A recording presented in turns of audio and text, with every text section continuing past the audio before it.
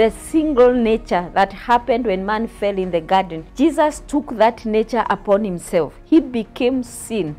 He became the nature of sin so that we can be given the nature of righteousness. Every demand of justice was met when Jesus went on that cross. And so for us, it becomes a free gift.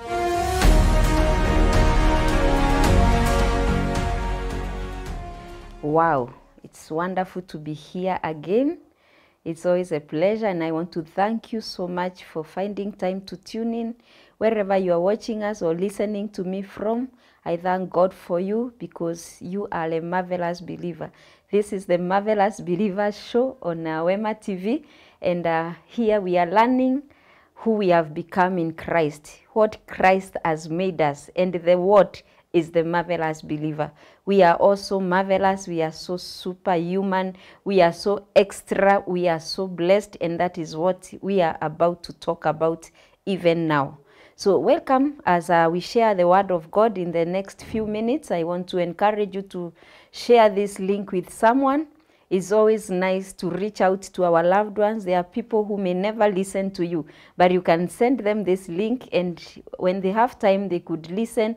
And I know the Spirit of God will minister to them and will encourage them and empower them. We are all in the business of empowering the church of Christ, the body of Christ.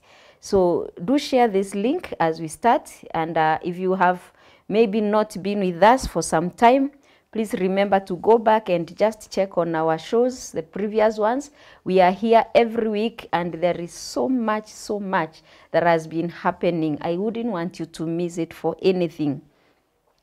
So I do believe that we've all had a beautiful time over the Easter weekend. It was usually very nice when we are able to remember the work that Christ did for us. Sometimes we call it the finished work of the cross. I choose to call it the finished work of Jesus because it didn't even just end at the cross. The cross was just the beginning. There is so much more that Jesus did after the cross. And that is what I want us to continue celebrating today. Eh, eh, We've just come from Easter, but I know uh, it is nice to always remind ourselves what is this that he completed? Which work is this that was so completed? And let me tell you even as we're going to discuss the word of god it is so completed that there cannot be a deficit. That is what christ has achieved for us. Glory be to jesus. Uh, let's just pray briefly as we start. Father we thank you and we honor you even as we share your word. We thank you, Jesus, because we are sharing the work, the work that you completed for us. You went to the cross and you raised us up. We thank you because of what you have done in our lives. Even as we share this word, Spirit of God, we ask that you minister to us. Give us a spirit of understanding and revelation. Let this word, because you said your word is spirit and it's life, let it speak life. Let it speak life into our spirit in the name of Jesus. We bless you and we honor you in Jesus' name.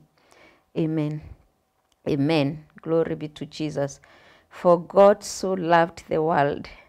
That is that is our scripture as we start. For God so loved the world that he gave his only begotten son. We memorized this scripture since we were young, but it has never lost its power that God so loved the world. And every time I think about the love of God, not just now during Easter, but anytime I think about the love of God, I imagine how how he planned it from the beginning, from the foundations of the earth. The other day I was meditating on the story of Exodus, that God and I see redemption. You see, when you read even in the Old Testament, wherever you read the Bible, the story, the, the theme of redemption cannot be ignored, cannot be separated. You cannot divorce the redemption theme from anything that God was doing, even in the Old Testament. So when we look at the story of Exodus, uh, I was just meditating on this, especially because we were thinking about Easter, the cross, and everything. And I see that God had told the children of Israel to put a, a sign of the blood on the door so that when the angel of death comes, he will not get into those houses. And right there, I could see a work of the blood. I could see a sign of the blood. Like the blood was a sign to protect or to stop to protect the angel of God from coming to the people. You know, God from that, even in those days, he knew that he had a he had he was redeeming people and the one that the completion of this redemption would be the blood the blood was protecting the people the blood was uh, I know now we have gotten too used to the blood of Jesus, the blood of Jesus, wherever you are casting out demons, the blood of Jesus, wherever. The blood that was put there and it was preventing God from entering to those houses. Like God was saying, the wrath, the, the, the punishment for sin is gonna be so is gonna be so costly the only thing that can pay for it can protect me from punishing is the blood and that was a redemption story right there. And that has been carried on until when the fullness of time came and jesus came and the blood hallelujah the blood became the redemption. Glory be to jesus. So uh, uh, when I was thinking about the completion of the work of Jesus, as we talk about Easter, as we celebrate what uh, Easter weekend means to us, right from the Good Friday and then the Monday, the Resurrection Monday, it is a whole process. And I just want to quickly go through it. I know we've we've done a lot of uh, Easter teachings all through. It does no harm to continue even later after this, even in December. By the time we celebrate the birth of Jesus, we'll still be talking about what he has done for us. So, uh, the first thing that we look at is his death, his death on the cross. The Bible says, uh, uh, I'll read a few scriptures, maybe not all of them, some of them. Uh, if you are there, you can revisit and maybe check them out. Second Corinthians chapter 5 verse um, verse um, 21 he became sin for us. That is where the whole story began. Jesus came. He was God himself. The bible says in the beginning was the word. The word was with God. The word was God Jesus was God himself. But when he came and on, as he was going to the cross what happened is he became sin. He took the sin of men not sins but sin. The single nature that happened when man fell in the garden. Jesus took that nature upon himself. He became sin. He became the nature of sin so that we can be given the nature of righteousness and that is what jesus did on that cross as he died he was saying sin is finished as he died he was saying you are no longer gonna be in the nature of sin if you accept the free gift of Jesus, you have received a gift of righteousness. So Jesus went to the cross, and what he did is that he took the nature of sin. He settled every charge that is against man concerning sin, because the only thing that separated man from God was the nature of sin that entered man when he fell in the Garden of Eden. That is why men sin. They don't sin because they are they are not sinners because they sin they just see they follow their nature this a person will sin because they are sinners but it's not because they are not sinners because they sin if they were not if they were not sinners they would not sin so when you receive the nature when you receive the christ your nature changes the bible says the same second corinthians chapter 5 up there verse 17 says if anyone is in christ he is a new creation you become a new nature you become a new creation. The old nature, the nature of sin dies away. And that is what Jesus did on that cross. He met every demand of justice because God is so just that it had to be paid for. Sin was paid for. Sometimes we say salvation is free. It is free, yes, to us. But remember, it was paid for. It was paid for. Every demand of justice was met when Jesus went on that cross. He paid for every demand of justice. And so for us, it becomes a free gift. So it was done. He took the nature of sin, he became sin, and he went to the cross and he died. He met every uh, demand of justice, he met every charge that was against us. But listen to the good news. Jesus said, Yes, I have taken the nature of sin. Yes, I have become sin. Yes, I have redeemed, I have taken sin from them. But that's not enough. There is more I can do. And that is why we become marvelous because Jesus decided there is no depth I will not go into until I am sure this man can stand as not condemned. This man can stand in authority. This is a man I came to die for. The job must be complete. He said there is not enough. Let me go there in hell and deal with this devil. It is not enough that I have taken the nature of sin. There is an authority that the devil took from man that I need to get back and hand it back to man. Glory be to Jesus. That is why every Monday we are here and we are insisting we are so marvelous. We are insisting that we are extraordinary. We are insisting that we have become a new creation. We have become a very special species. We have become the very royal priesthood because Jesus, apart from dying on the cross, apart from taking the nature of sin, apart from giving us righteousness as a gift, he decided I can win more for a man. I can win more for man. I will go down there. I will disarm this devil. I am not leaving him with any authority to oppress man again. I am not leaving him with any power to suppress and depress man again. As I have died for man, I am finishing this deal with even with the devil. And the Bible says he went into Hades. Maybe we could read um, one or two of some scriptures there just to see what happened there. I'll read Colossians chapter 2. I'll read from verse 11.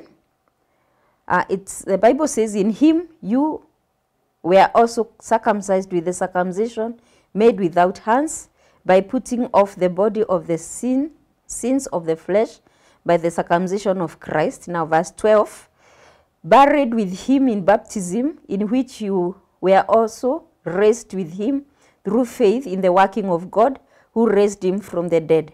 And you, being dead in your trespasses and the uncircumcision of your flesh, he has made alive with him, having forgiven all your trespass, having wiped out the handwriting requirements that were against us, which were contrary to us, and he has taken it out of the way and has nailed it to the cross. Now, verse 15 says, having disarmed principalities and powers, he made a public spectacle of them, triumphing over them in it. Now, last the last four weeks, we've had a series that we were calling "You Are Superior to Satan." This was one of the main uh, scriptures that we were talking about. That Jesus actually went and disarmed. The Bible says, having disarmed principalities and powers, he made a public spectacle of them. He made a a public uh, scorn of them. Like he publicly embarrassed them, he disarmed them, and he made it public that you have no power. I have disarmed you. You can read from Ephesians all the way to Revelation. You will not find somewhere else where the Bible suggests the devil ever got power again. There isn't. He was disarmed once and for all. Jesus, after dying on the cross, decided, I am not leaving the devil with any power. I am going right where he is and I am going to disarm him and make it public that he no longer has power over man, not over a new creation believer, not after I have taken the nature of sin, not after I have gone to the cross for him. I am not leaving any chance that the devil can oppress him again. And so the Bible says he was disarmed and he was it was made public. Somewhere else, I like what uh, Pastor Ben Isaac said uh, as he was teaching, You are superior to Satan. He says, as far as the Bible is concerned, Jesus said, I have the keys for the kingdom. There is no other, there cannot be two keys. Everything, every authority that the devil had was taken. Jesus said, Every power and authority has been given to me. Not half, not a bit, not remaining a quarter. The devil was left without any authority. That is how detailed Jesus went as he went to that cross. He had decided, I am doing this once and for all. So he took back. The Bible says, uh, maybe let me read Revelation chapter 1 and verse 18. Uh, just Revelation chapter 1, verse 18. The Bible says, I am the first and the last. I am he who lives and was dead, and behold, I am alive forevermore. Amen. I have the keys of Hades and of death. Jesus says, I have the keys even of Hades and of death. I have. So there is no key that the devil was left with, not even of hell itself. He is not even in control. Praise be to Jesus. So, um, and then we, we see verse, uh, maybe I will not read that one, but please look it up. Matthew chapter 16, verse 19. Jesus saying he has the keys of the kingdom. He has every key, be it for the kingdom, be it for hell. Jesus has the key. He took every authority, he took back from us the authority that Adam had given to the devil. Remember, this authority was handed over to the devil by, to Satan by Adam. Right from the Garden of Eden, if maybe I could remind us, when man fell, actually, I let me just mention this, maybe just as we as I pass by. When when when man fell, I love uh, something that I think someone helped me he wrote about it and it really made sense to me. Let me share it with you. When man fell and, and God came looking for man and they were hiding, God knew he had given responsibility to man. It is man that God gave the responsibility of manning the Garden of Eden. It is man that God gave the responsibility even over the woman that he had given him. And so when God came, obviously God had known what had happened, but he still needed man to own it up and maybe to be accountable. And he came and he looked for man. He called for Adam. He didn't call for Eve or for anyone else. He looked for man because he expected man to own it up and say, you know, something has gone wrong. We are different or something. But man, immediately God asked him where he is. He said, the woman that you gave me. He like handed over his responsibility he delegated, it's not delegation. When you delegate, you delegate leaving you as, as a responsibility, but someone to help you. This one was handing over. He decided it is not me who is in charge now, it's the woman you gave me. And immediately Adam said that God now went to the woman and he asked the woman. And the woman also decided, I am not in charge here. It is the devil, the serpent. And actually, God, let me tell you, God is so just that even, the, even with the devil he is just. So the minute the woman, Adam and the woman have said now the whole responsibility is on the serpent, God asked the serpent, what have you done? And the serpent was very clever. He didn't give that responsibility to anybody. He decided to own it.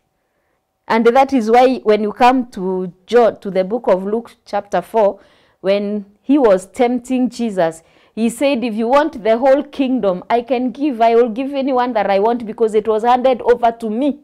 That is how the devil puts it. He tells Jesus, if you can worship me, I'll give you the whole kingdom because I can give it to anyone that I want because it was handed over to me. That is how it was handed. And I want to encourage us and to challenge us, the marvelous believers. We have been given some responsibility as sons of the kingdom. Some of you have been given a responsibility even over the church, even over the family. You have every one of you, every marvelous, every new creation believer, every child of God has a responsibility. Some of you, God has entrusted with ministries, with spiritual gifts. I want us to learn to hone them. I want us to learn to be mature. That's why Galatians Paul says to, in Galatians chapter 4 and verse 1 that a heir, even if ye be the heir, as long as he's a baby, he cannot be uh, trusted with responsibility. That is why we are here every time and we learn from each other that we need to grow up. We need to be responsible. Let's take even the small responsibilities that God has entrusted us, has honored us with, has given us the privilege as the sons of the kingdom. Let us be, let us own them. Let us uh, be responsible. I know some of you listening to me, God has entrusted you even with ministries, even with spiritual gifts, even with children of God, churches. Let us be responsible. Let us own them. Let us take responsibility. We are the sons of the kingdom. There is no father who rejoices if the son is not owning up his business. Let us own it up. Let us do this work, the work of the kingdom. It is only a honor and a privilege that the father entrusts us. Anyway, let me come uh, back to what I was saying. I was saying Jesus went and took that authority from the devil because he had that authority. He said, I am not just satisfied with dying on the cross. I'm going to go there and pick that authority from the devil and hand it over to men. And now we have that authority over everything, over sickness and disease. When you go to pray for a sick person, don't even start saying, Father, heal this person. Command the sickness to go. You have been given that authority. It is you with that authority. When you meet a situation, it is not God. God has entrusted you. We have been given the responsibility and the authority. And so we take our, our charge as the sons of the kingdom. And then Jesus, after he is done with the devil, he says, There is one more I can do. There is more I can do for man. There is more I can do. This work must be complete once and for all. This work must be complete without leaving a deficit or a loophole. And the Bible says, He has raised us up in Him. He went up. He went up and He carried us with Him. The Bible says, uh, He raised us up in Him. Maybe I'll read.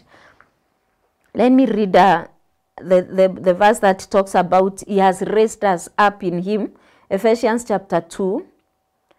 Glory be to Jesus. Karima sarakataya. But God, who is rich in mercy, because of his great love with which he loved us, even when we were dead in trespass, made us alive together with Christ and raised us up together and made us sit together in the heavenly places in Christ Jesus. That is the fa- that is how far Christ has gone. He decided I am not going to raise alone. The Bible says Christ was crucified right from the you know the things we are seeing now God sees the end from the beginning. Right from the beginning, God had seen this crucifixion. Christ has, had already known he is going to come and die. He had died. The Bible says he died. You can read it during your free time. First Peter 1.19, he says it was foreordained before the foundations of the earth that Christ would die. And so Christ had already purposed, I am not rising alone with everyone, with every new creation believer, with every child of God. I'm rising with Him, with Him inside of me. And so Christ rose with us and seated us in the heavenly places, the place that I call the position of honor and dominion, the position of authority, the position of possibility, right hand of God, the right hand of God, the, the position of power. When you say you are in the right, you are a right hand of someone, you are the person that he can trust with everything. You are their right hand. You, you work on their behalf. You represent them. That is the position that Jesus took us, the right hand of the Father. The Bible says he has raised up in him, even to the heavenly places, and seated us at the right hand of the Father. That is where Father Jesus has gone to make sure his work is complete. He has taken us to a position where we become the sons of the kingdom. He has taken us to the position where we become the joint core or, or core heirs of the kingdom. We were learning the other day that we, when we are being called joint heirs, it is not that he, he, he owns 50 and we owe 50. We equally own everything. The Bible says he has become the firstborn from the dead. First Corinthians, uh, Colossians, not First Corinthians. Colossians chapter 1 verse 18. He has become the firstborn from the dead. Actually, also Romans chapter 8 verse 29. It says he has become the firstborn among many brethren. We are the many. He has become the first. When the Bible says he has become the firstborn from the dead, he's not saying he's the first one to raise from the dead. Because we know people like Lazarus also rose up from dead, even others but he has become the we have just read that we were dead in our trespass. When you are separated from god you are dead spiritually. And so jesus took our sin and died spiritually. He also died physically but even spiritually he had died. By the time he became sin he had already been separated. That's why he was crying and saying why have you forsaken me? Because he had been separated from the father. So he died spiritually. And Everyone who is not born again is dead in trespass. But the minute you receive Jesus, you become alive. And so Jesus was the first person to become alive in the spirit. He was the first person to be alive. And we are the other bones. He became the firstborn of many brethren. We are the brethren. We are the marvelous believer. He has seated us in the right hand of the Father. He has made us joint heirs. He has made us equal heirs of the kingdom. Glory be to Jesus. That is how complete Jesus did his work. That is how complete Easter is. It was not just about the cross. It included going and getting that authority and dominion and handing it over to man and leaving the devil without power. Let me tell you, marvelous believer, the devil is so defeated that he, be- he can become irrelevant in your life. It is possible to go through life without mentioning his name because he has no power, he has no space. He is irrelevant in our lives. Glory be to Jesus. We can talk about the, what Jesus has done and accomplished for us. And the last thing I want to talk about, apart from, because what Jesus did is he took us back to the Father, he reconciled us. What was lost, the relationship that was lost in the Garden of Eden, Jesus brought us back. The Bible says, Glory be to God, the Father of our Lord Jesus Christ, who has reconciled us back to himself through Jesus. He, through, Jesus brought us back to the Father, to the original plan.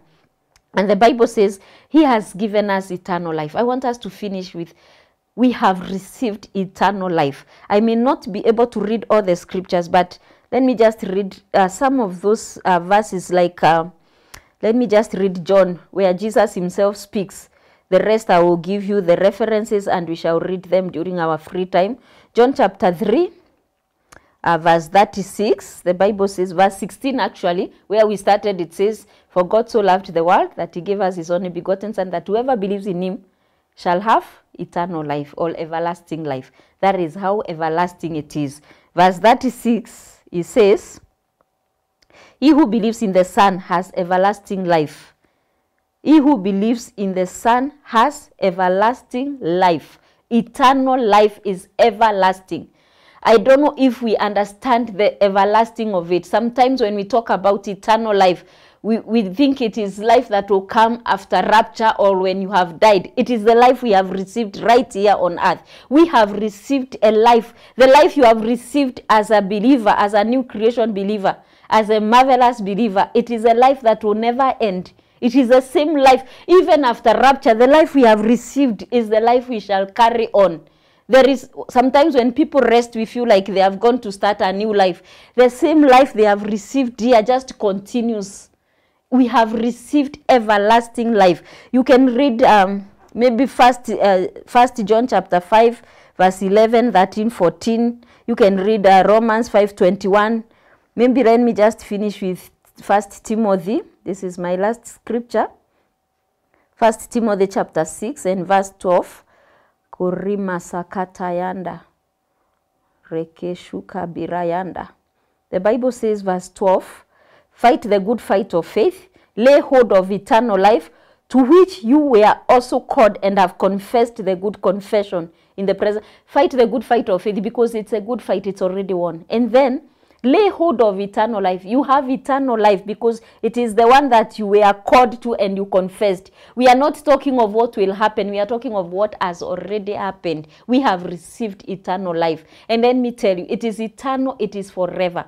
This life was already predestined for us. Anything that we ever need anything marvelous believer we will ever need be it justification be it righteousness, be it um, wisdom, Christ has given it to us. He has given us eternal life. It is not going to end. This is an eternal life that He has called us to. That is how complete His death, burial, and resurrection was.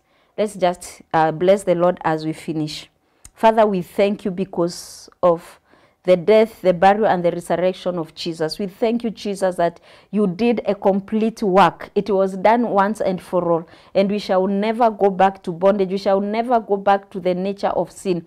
You have given us eternal life. You have given us life everlasting. The Bible says, He that believes in you, though he dies, yet shall he live, because this life is eternal and it is forever. We thank you for everyone that has received this eternal life. And if you are there and you have never given your life to Jesus, just say, Thank you, Jesus, because you went to the cross for me, and I receive you now as my Lord and my Savior. I receive the gift of righteousness and of eternal life. If you make that prayer, you are born again, you are a new creation. The life and the nature of God is in you. God bless you.